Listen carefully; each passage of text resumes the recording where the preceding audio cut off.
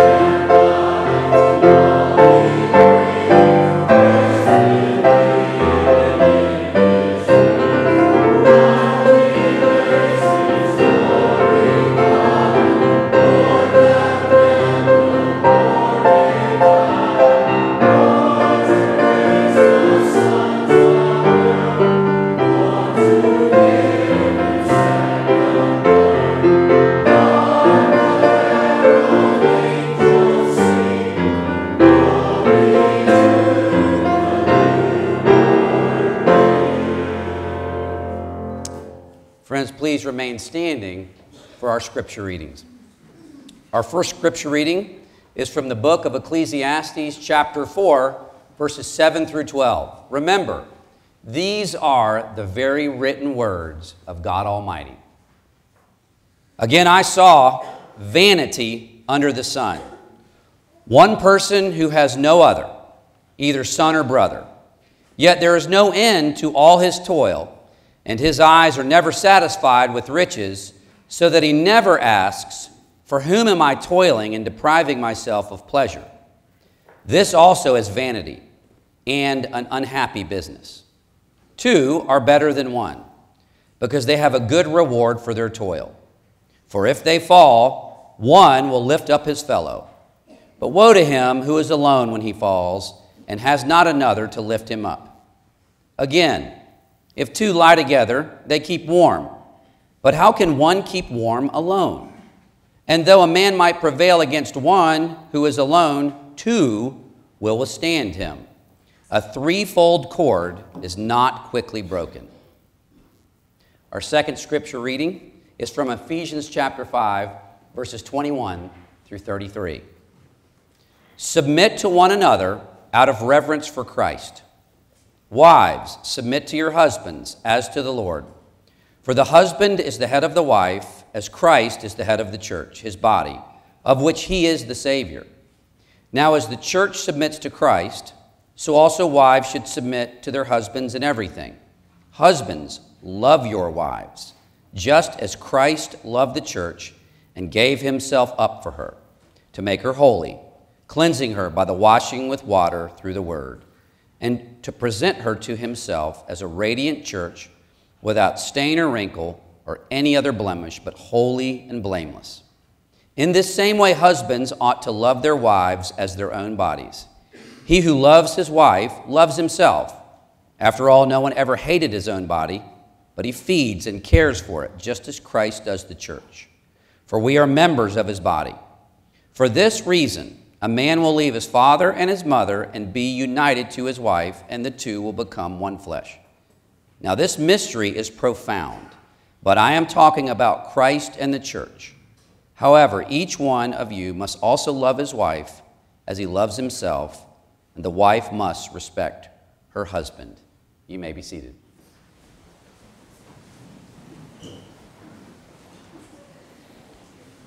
Well, Dave and Pamela, it is such an honor and privilege and joy for me to be officiating your marriage today. You are my friends, and I love both of you very much. It has been a privilege to watch God and His providence bring you together, and we all wish and pray for the happiest of marriages. But for the next few minutes, I'd like to, I'd like to briefly talk about what today is all about because the meaning of marriage is no longer something that can be taken for granted. In fact, the meaning of marriage, the definition of marriage, is changing at a very rapid pace. Take, for example, wedding vows. Wedding vows serve as the foundation or the specific terms of the covenant ceremony. And just yesterday, just yesterday, I read an article entitled, Why You Really Should Write Your Own Marriage Vows. Now, important disclaimer, very important. There is nothing inherently wrong with a couple writing their own vows. It can be a wonderful and meaningful thing as long as those vows don't redefine marriage. Unfortunately, that's what's happening more and more. I'll quote from the article that I read yesterday why you really should write your own vows. The premise of the article is this What you vow in marriage is up to you. Quote, Your love and your relationship are one of a kind, and your vows should be too. When you read your vows, you're reading what you are uniquely promising to your partner something that no one else can decide for you. And so, in the mind of this author, and I think in the minds of many today, what you vow is completely and totally up to you. And so, therefore, you define what marriage means. And you decide what kind of commitment you're willing or not willing to make. But, Dave and Pamela, I'm here to remind you today, and to all of us, that marriage is not what we define it to be. In fact, your vows are not based on what you would or wouldn't like to commit to. Your vows are rooted in and defined by the passage of Scripture I just read from Ephesians chapter 5 that says, A man shall leave his father and mother and hold fast to his wife, and the two shall become one flesh. Like that's the essence of marriage. And then Paul describes the ground of it. This mystery is profound, and I am saying that it refers to Christ and the church. And so, marriage between a man and a woman is just a picture, it is a shadow of the marriage between Christ and his church. It is that marriage with a capital M that informs this marriage. It's that covenant that serves as the precedent and context of this one. It's the commitment that Jesus made to love his bride, the church, that provides the foundation and the basis for what we're doing today. And so, Dave and Pamela, you're not taking and making the biblical vows today just because that's what people do, just because you're sentimental and old fashioned. That's not why you're taking and making the vows that you are. You are taking and making the biblical vows because marriage is a gift of God, created by God, defined by God, and it points to something so much greater than itself. It points to the marriage between Jesus and his church. And so, your commitment to make and fulfill your vows to one another flows from the fact that Jesus not only made vows to love his church, the Lord Jesus Christ kept all his vows to love his church. He lived the life that we could never live, and he died the death that we should have died. And that is the gospel of Jesus Christ. That Jesus loved his bride so much that he literally gave his life for her.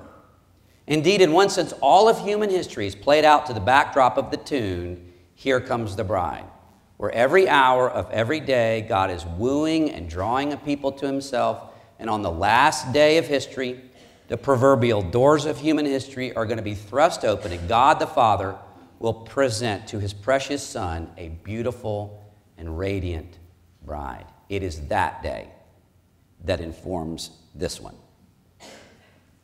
And so, Dave, the Apostle Paul wrote that Christ lived and died so that he might present the church to himself without spot or wrinkle or any such thing, and that in the same way, husbands, they should love their wives as their own bodies. And Dave, that means you're to love Pamela selflessly, tirelessly, and sacrificially. In God's economy, Pamela is your first responsibility, which means that to some degree, the Lord will hold you responsible for her spiritual well being.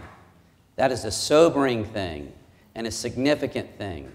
And my brother, I charge you to take that responsibility very seriously, to love this beautiful woman and care for her like Jesus cares for his church. And Pamela, today you're vowing to be a loving and faithful wife as long as you shall live. And loving Dave and remaining faithful to Dave, among other things, means that you're to point this man all the days of his life to the person and work of Jesus. It means you're to put Dave's needs above his own and encourage him and help him live a life of faith and repentance in the gospel of Jesus. I charge you, my dear sister, to love David Clelland like Christ loves the church. And may God enable the two of you to fulfill your vows in light of the fact that Jesus made and kept vows to his church. Amen and amen. And now, you two, please turn and face one another. Hand your bouquet to Faith. Hold hands and face one another. Dave, please repeat after me. I, Dave, take you, Pamela. I, Dave, take you, Pamela. To be my wedded wife. To be my wedded wife. And I do promise and covenant. And I do promise and covenant. Before God and these witnesses. Before God and these witnesses. To be your loving and faithful husband. To be your loving and faithful husband. In sickness and in health. In sickness and in health. In plenty and in want. In plenty in want. In joy and in sorrow. In joy and in sorrow. As long as we both shall live. As long as we both shall live. And Pamela, please repeat after me. I, Pamela, take you, Dave. I, Pamela, take you, Dave. To be my wedded husband. To be my wedded husband. And I do promise and covenant. And promise and covenant. Before God and these witnesses. Before God and these witnesses. To be your loving and faithful wife. To be your loving and faithful wife. In sickness and in health. In sickness and in health. In plenty and in want. In plenty and in want. In joy and in sorrow. In joy and in sorrow. As long as we both shall live. As long as we both shall live. Dave, please take this ring and place it on Pamela's finger and repeat after me. This ring I give you This ring I give you as a symbol and pledge as a symbol and pledge of constant faith and abiding love. of constant faith and abiding love. Pamela, please place that ring on Dave's finger. Repeat after me. This ring I give you This ring I give you as a symbol and pledge as a symbol and pledge of constant faith and abiding love.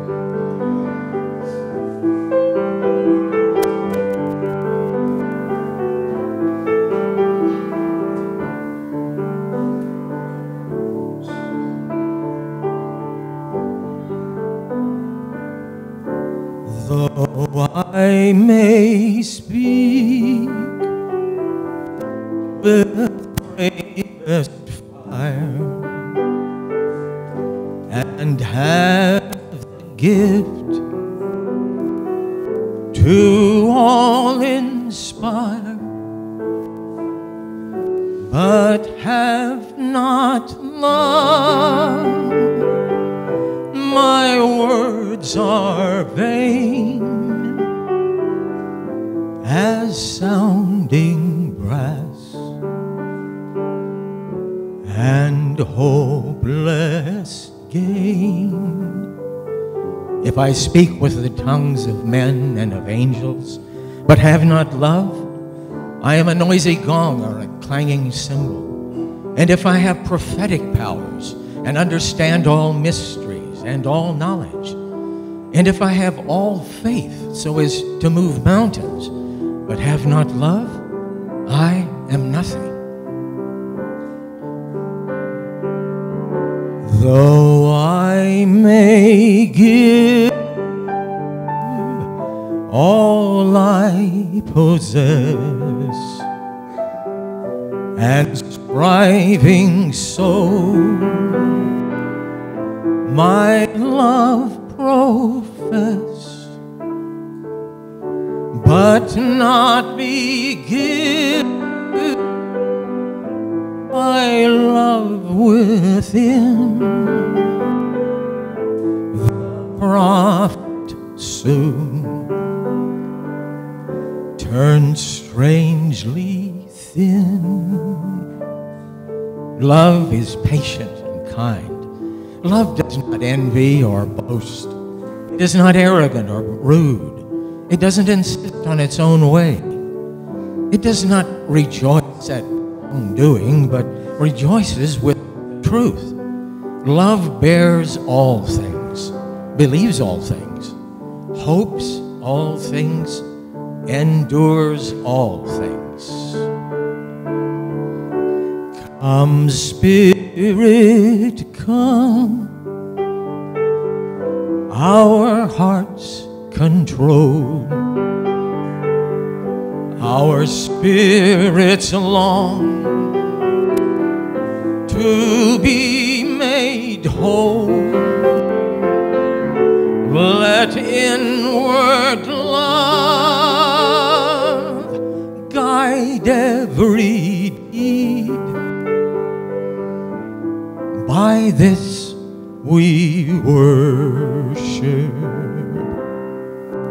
and are free. Now, faith, hope, and love, these three abide. But the greatest of these is love. By this we worship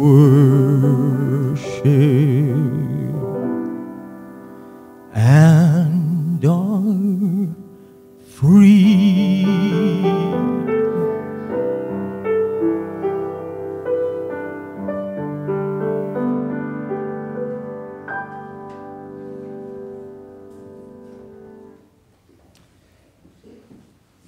Friends, pray with me. Our Father in heaven, we do thank you. We praise you for the gift of marriage and the beautiful and wonderful picture of the gospel that it is. Father, we thank you for giving this gift to Dave and Pamela. And we pray that by your Spirit and through your grace and mercy, that you will enable them to fulfill the vows that they just made. Father, we ask that you would make these two people one, with Christ Jesus at the center, and grant to them a marriage that will bring honor and glory to your name all the days of their lives. We pray this in Jesus' name. Amen. And now, by the authority committed to me as a minister of the Church of Jesus Christ, according to the ordinance of God and the laws of the state of Texas, I declare that Dave and Pamela are now husband and wife in the name of the Father and the Son and the Holy Spirit. Dave, you may kiss your bride.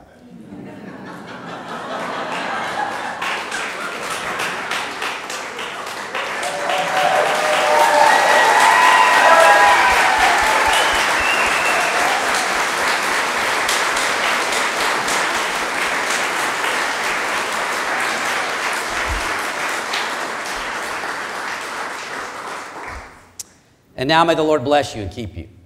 May the Lord make his face shine upon you. May the Lord lift up the light of his countenance on you all the days of your life and give you peace.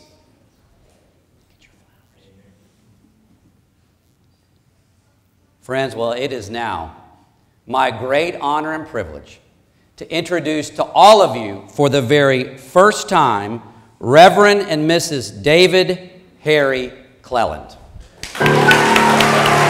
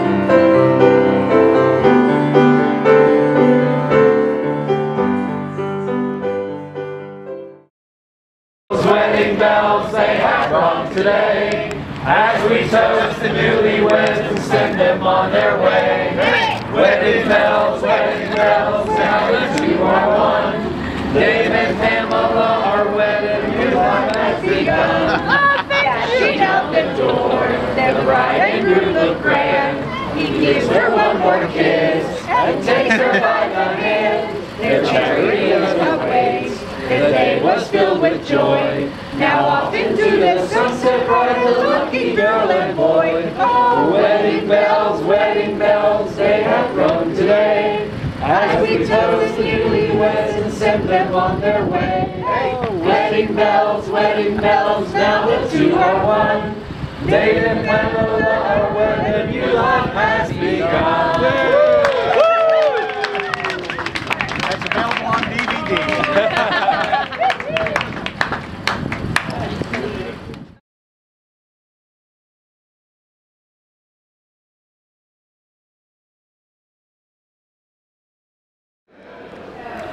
Right, Dave and Pam, we are so happy for you guys. We love you so much. This was a beautiful wedding, and we just are so grateful that you're part of our Providence family.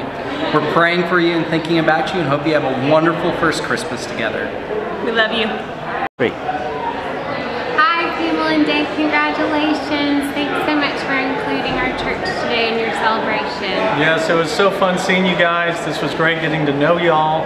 Congratulations, and uh, hope you have a great honeymoon. Dave and Pamela, congratulations. We're so excited for you. Uh, we'll be praying for you. Pray the Lord's blessing on your marriage. It's a happy day. Congratulations. Congratulations,